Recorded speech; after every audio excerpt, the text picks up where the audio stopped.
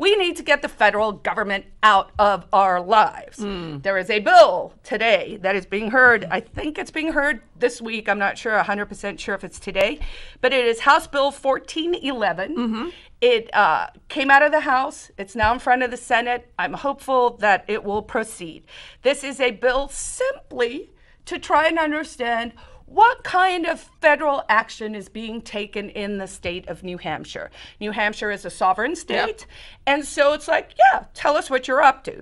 So this bill is asking for the total number of agency facilities federal facilities in the state of New Hampshire, the total number of staff, so not particulars, just a number for the how staff many federal and whether employees? they went up or down. The total number of temporary staff hired per month going up or down, total federal investigations that are ongoing, the total completed surveillance on New Hampshire residents year to year um, and updated per month.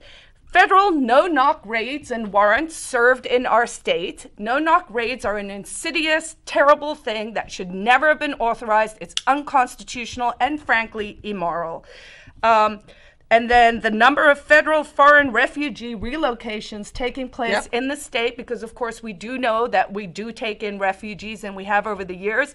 I'm an immigrant. Right, I, I love gonna say, immigrants. I'm down with it, but let's deal with Well, the and, data, and, right? and, and just because you want to know how many doesn't mean that you're anti-immigrant because people will always say that like oh you just hate Oh, you right. hate all the immigrants and you hate the refugees i'm like no i think that's wonderful i just would like to know And and how, what, how that number is going And then last in the bill, it does ask the New Hampshire Attorney General to create uh, a searchable database that would then compile this. So this would be requiring the federal government to give us a monthly report telling us about these things that would then be something that we could track sort of as New Hampshire citizens on a dashboard to see what kind of um, things are happening.